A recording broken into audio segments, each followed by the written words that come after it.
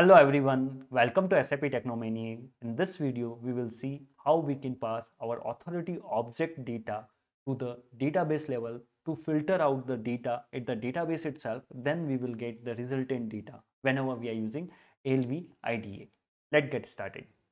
To understand the auth object, how we can pass directly at the database level instead of running the authority object at the application server, what we do, we will use one same report which we have created in my last video to understand the select options. What we did, we just we just created one normal simple report where we were having one two select options and we were using CL GUI table IDA class and CL GUI underscore underscore table underscore IDA class static method create for CDS view. We are displaying the data of this particular CDS view which we have created another one of the video. So we, we were just displaying this data using this particular IDA, IDA class static method. So now what, what else we did? We just collected this all the select options and we have created the range, we have added this range of select options to one of the our class CL SALV range tab collector and finally we have created one range collect range collected range all the collected range in one internal table and that we have passed in the IDAL we set select option method and we were filtering out the data and we were displaying the data. So how how we did and it was working very fine we saw. Now what we will do we will add the authority object to our program. Previously how we used to do suppose I have to add the authority object in my program so I have to use like this uh, authority AU. You have to write the authority object and you have you should have some authority object ready, ready and you have to give some authority object name here. Once some name you have to give whatever the authority authority object you have to give name and ID you have to give and you have to give the field name and what is the field value. So understanding the authority object and object i already created one of the authority object. I, I just want to show you what authority object i have created and i have assigned to the one pfgc role uh, to create the authority object and how to assign to the pfgc role pfgc role i have already explained in cds control videos. There i created the manually one auth object. If you don't know how to create the auth object how to create the authority class in su21 how to create the auth object under that and how that auth object we should assign to that particular role that I have already explained. But I will show you just how we how I have assigned that authority object in particular PFGC role. So open PFCG role, you have to open the T code alt F8. PFCG is the T code you have to open. I have already created one role there.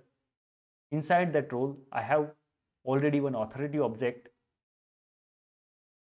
So so this is the PFGC role, uh, wise ID underscore sales is the PFCG role. To display this role, inside that I have assigned some authority object, which I have created using SU21 T code. I want to see my authority object and this role I have assigned first to the my user ID.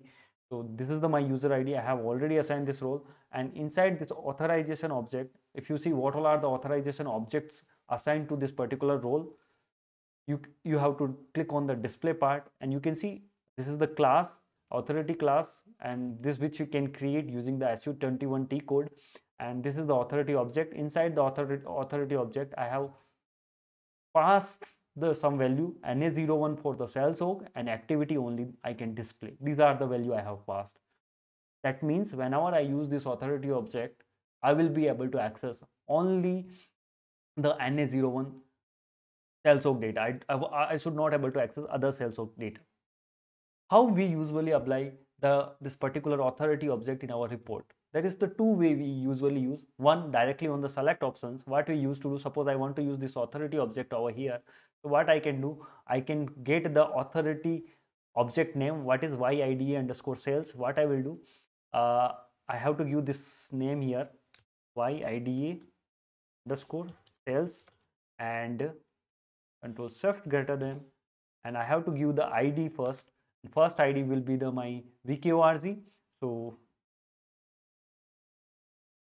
VKORG ID and what is the value for this particular vkorg that i have to pass that particular value as well. So what will be the value? Uh, that should come from the select options. Control c control v sales org low value. That that should come. And second id i have to pass the activity which i know in this which i can see in the pfcg role that is second id activity that should be display means 03 act vt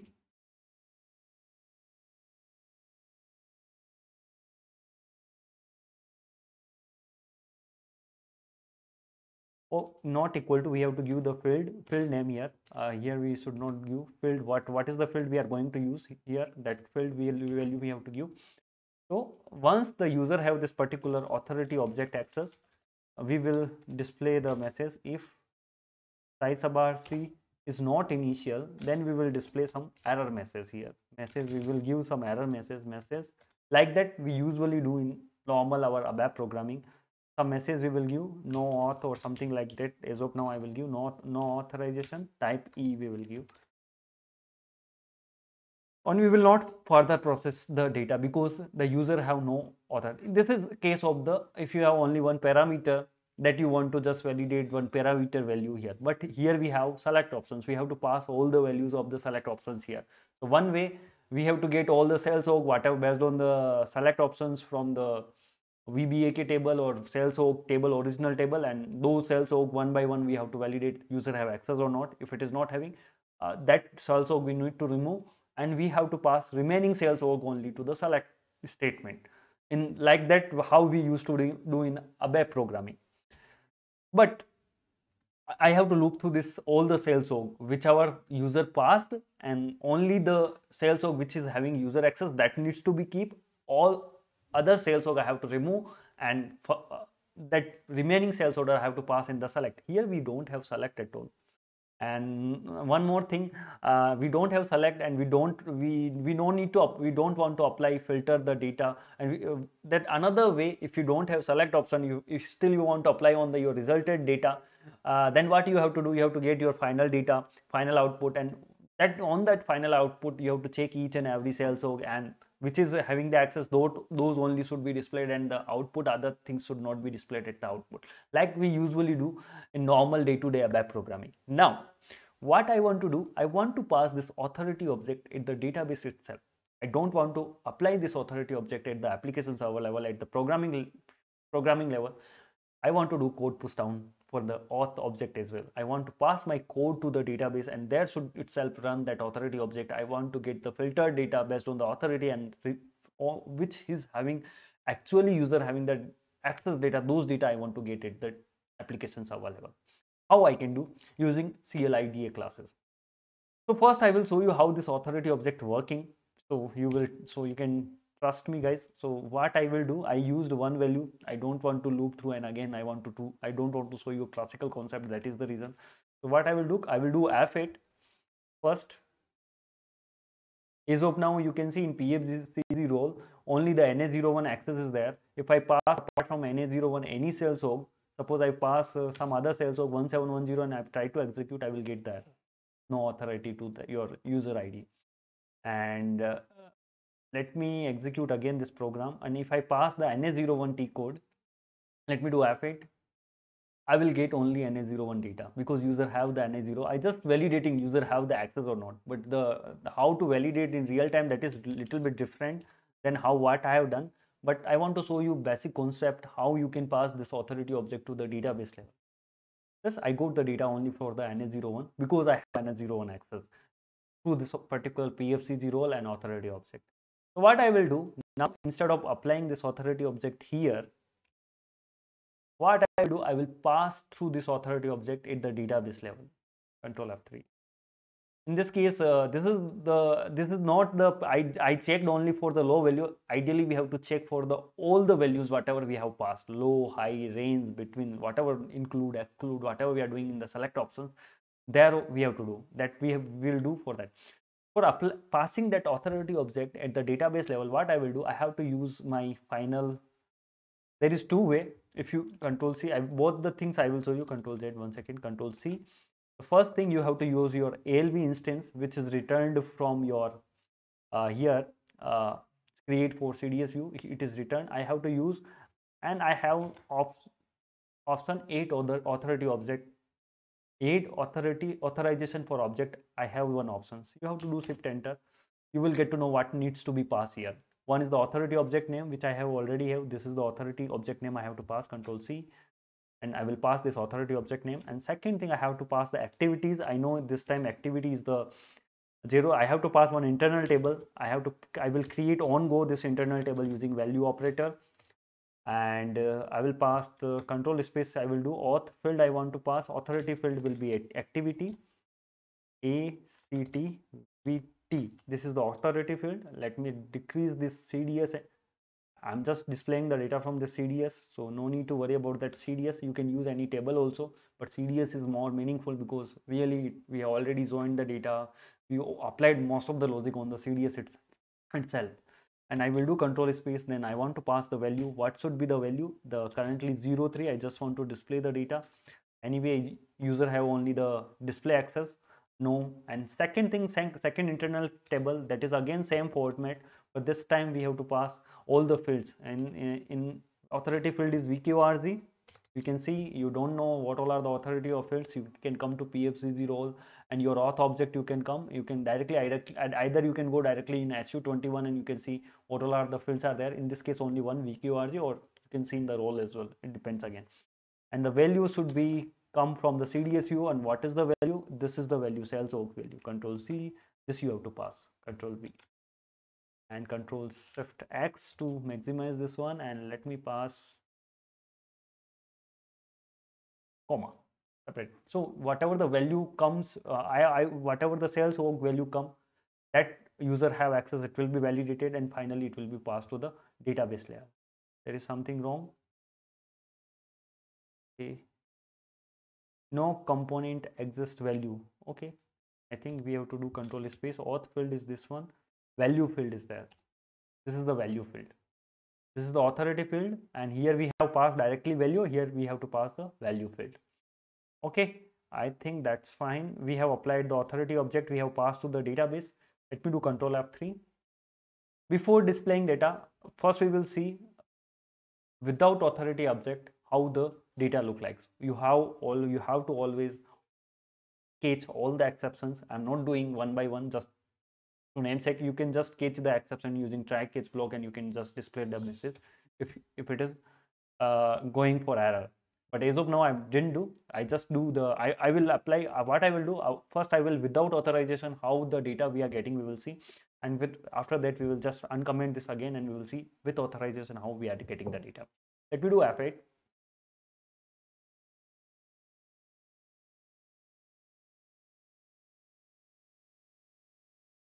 I'm not passing any selection criteria as of now. I just want to see all the data. It will be the data directly getting from the database and see if I want to filter out, you can see what all are the sales of good display. Currently, I didn't apply any filtered, any uh, authority object at all. So I got all the all, all the sales of data 171017 GSOP, all the sales of whatever the, the sales of available in the system for all the sales of I got the data in the output. So now what I will do, I will apply the authority object over here now what will happen? Only those data will be displayed which is having user actual access. Using this authority object i have only na01 access. I wish i should get the data only for na01 control f3 let me do once again f8 to see the result. If you do f8 you will get the result. I will not apply the filter further on the select option. I directly execute the data. This time I should get only data for the NA0 but because I have the access to data only for, for the of NA01 you can see. I don't have, I applied that authority object. Uh, if I try to pass other uh, sales org on other sales org in the selection screen, I will not get the data at all. Suppose I pass 1710 or something else I will pass and I will, I will try to see the data for other sales org. I should not get the data for other sales org even though the data is available in the system because I don't have that data access right that role is not assigned that is the reason i'm not getting the data. If you want to get if you want to reassign that you you can change this one. Uh, instead of na01 1710 do you will get only 1710 you, you can apply multiple sales org as well.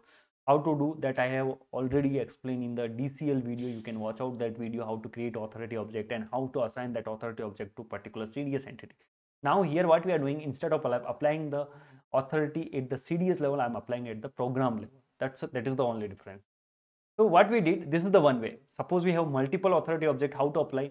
We can't call multiple time this particular for that we have another method. Uh, i have already class for this one so you have to use this class method. If you have multiple authority object you want to check instead of checking one authority object in that case what you have to do let me do control shift less than first this one.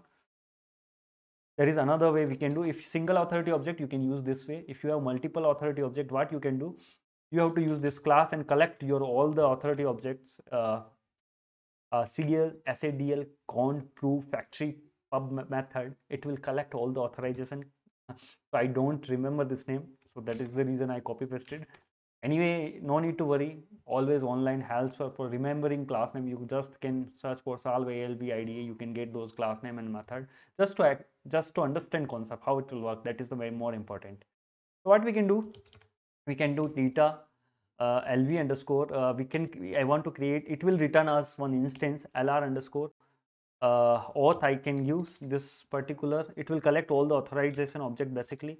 And inside this particular auth we have one method called add authority object that will collect all the authority object. Same way how it is directly we are applying instead of applying directly what we will do we will apply to this method control c control v i have the field mapping. Let me pass this field mapping. Same value i will pass control v and here also i will pass same value control c. Activity also i will add control v. By default it is 3 if you don't apply also but you have to apply and see. That's okay. And finally what you have to do you have to again set uh, in this particular control c instead of calling add authority object you have to call set control v. If you do control space then you will get automatically something called set authorization provider. This is basically auth provider we can say. Can change the name control c control v and that auth provider i have to pass here. And you can add you can call this particular add authority object multiple time over here. If you have multiple authority object and you can pass that auth provider here and further it will be those all the authority objects will be applied on this particular CDS entity or we can say the output of that particular ALV IDA. Let me do control F3. Let me see the result, how the result looks like. It should be similar. That should be no because already, uh, let me do F8. I should get the data only for NA01 sales org. I should not get other sales org data. That's very important. So let me execute. I will not filter out at the selection level. I want to get all the data, but it will be filtered out because I have only NA01 access. So I'm getting the na0 1 access. You want to change instead of NA01 something else. I, I want to give this user some other cells of data. You can come to PFCG. You can edit your role. You can change your, your authority object data, change authorization data and you can come here you can come to your vkorg field i want to give some other cells of data access instead of na01 let me give gsop data access only no i don't want to give na01 access data to this user i want to give the data access gsop user access so for that you have to regenerate uh, this particular authorization object you have to save and once you save you have to come back okay generate and come back and it got saved and you have to save finally your role if you try to execute now, you will not get your NA01 data. Instead of NA01 data, you, you will get GSOP data. That's you change your role. Now you have access to GSOP data access, not you don't have NA01 access. I just execute the data. See how this works. Got the GSOP data. Only four entries we got. So in the system, only four entries are only available. So like that, we can pass the authority object to the database level. So generally what we will do, uh, what we do, uh, instead of passing the authority object uh, in the database level, in normal day-to-day -day programming, when we create using the Solve LV, what we do, we either we get all the data in the final table, then we apply this particular authority object and we filtered out data further and we will display it finally. Or when we are passing the filter to the select option that time we will pass those only those data filtered data only those cells which we want to get the data from the database. Both way will do later way is better obviously. We should not get all the data from the database. We get just needed whatever the needed data. But sometime we have to get the data and then we have to apply the filter. That time we are unnecessarily getting the data and then applying filter. In this case the best way you are passing the auth object itself to the database it will be filtered out at the database level because your database is powerful. You should apply all the filtering part all whatever you want to do all the things you have to do at the database level then the finally data you should get I think uh, this video is long enough. What we can do, we will discuss further more ALV IDA concepts in upcoming videos. Before going to those videos, please like this video, share these videos with others as well. With that, thank you and happy learning.